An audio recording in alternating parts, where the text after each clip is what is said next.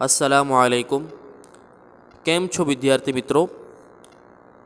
આજે આપણે પાઠ સાત, કલાકારની ભૂલ. આ પાઠમાં આપેલા અઘરા શબ્દોની સમજૂતી, એટલે કે શબ્દ સમજૂતી વિશે થોડી માહિતી મેળવીશું. સૌથી પહેલો શબ્દ છે કલાકાર. કલાકાર શબ્દનો અર્થ થાય છે કે કલાનું સર્જન કરનાર. કલાકાર એટલે કે કલાનું સર્જન કરનાર. ત્યાર પછી છે શિલ્પી. શિલ્પી એટલે કે મૂર્તિઓ બનાવનાર. વિદ્યાર્થી મિત્રો, આપણે ઘણી બધી જગ્યાએ મૂર્તિઓ જોઈ હશે. હા, તે મૂર્તિ બનાવનારને શિલ્પી કહે છે. ત્યાર પછી છે ત્રીજો શબ્દ, તુચ્છ. તુચ્છ શબ્દનો અર્થ થાય છે એક નજીવું, જેની કોઈ કોઈ કિંમત નહીં હોય, નજીવું, માલ વગરનું એટલે કે એકદમ તુચ્છ, નીચું. ત્યાર પછી છે દ્વાર. દ્વાર શબ્દનો અર્થ થાય છે બારણું દરવાજો. એટલે કે દ્વાર શબ્દનો અર્થ થાય છે બારણું ત્યાર પછી શબ્દ છે પાંચમો, તફાવત. તફાવત શબ્દનો અર્થ થાય છે ભેદ, અલગ, જુદાઈ. તફાવત શબ્દનો ઉપયોગ આપણે ઘણીવાર આપણા રોજિંદા જીવનમાં કરીએ જ છીએ. તો એ તફાવત એટલે કે કોઈ પણ બે વસ્તુ આપણે આપણે ઘણીવાર કહીએ છીએ કે આ બે વસ્તુ વચ્ચે આ તફાવત છે. એટલે કે આ તફાવત શબ્દનો અર્થ થાય છે બે વચ્ચે ભેદ. શું અલગ છે તેમાં બે વચ્ચે? હવે આપણે આગળના શબ્દોની માહિતી મેળવીશું.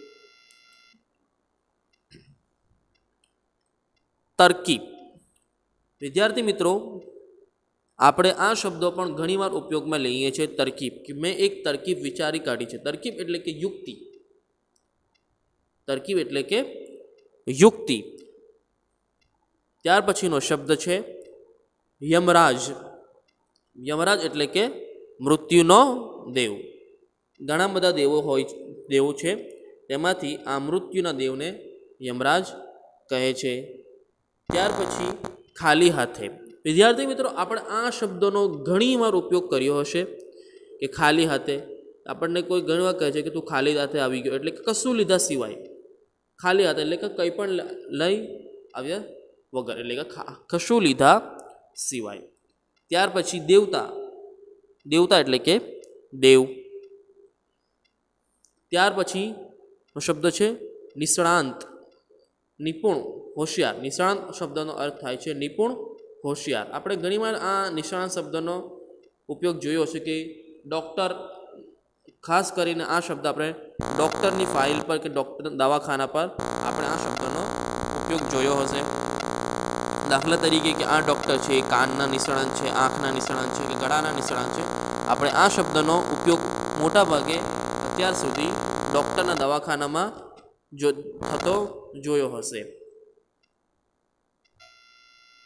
ત્યાર પછી છે રૂઢિપ્રયોગ બની જવું. બની જવું એ શબ્દનો અર્થ થાય છે છેતરાઈ જવું. એટલે કે આપણે આ બની જવું શબ્દનો ઉપયોગ ઘણીવાર આપણે કર્યો હશે કે કહીએ છીએ કે તને તે સરળતાથી બનાવી ગયો. એટલે કે તને સરળતાથી એ છેતરી ગયો.